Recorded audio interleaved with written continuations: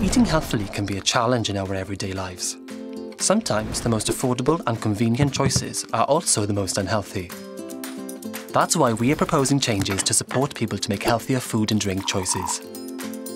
We want to create healthier shopping baskets by restricting the promotion of food and drink high in fat, sugar or salt, leading to more promotion of healthier products. Support healthier eating out of the home by making it law for food businesses such as restaurants and takeaways to display calorie labelling and by limiting the size of sugary soft drinks served.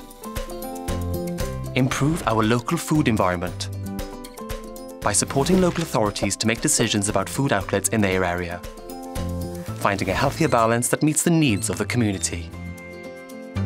Provide business support so local businesses can find the help they need to deliver on these changes.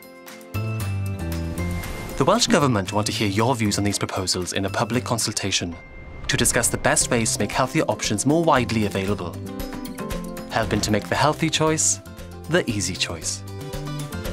To find out more about the Healthy Food Environment consultation, visit gov.wales forward slash consultations.